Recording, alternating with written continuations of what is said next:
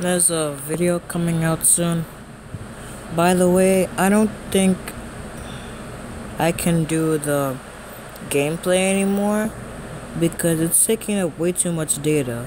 The Forward Assault game that you saw, I had to delete it in order to make the video. So, yeah, no more of that. The only game I could possibly play is maybe PUBG or One Finger Death Punch. I actually tried making that, but long and behold, I had no space, so yeah, that happened.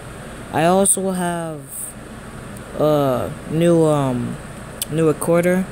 As you can see, I told you that in the video that's coming. Depends on which one comes first. I just wanted it to be an update that I only be doing re reactions now because well it, it takes up too much space to play the games.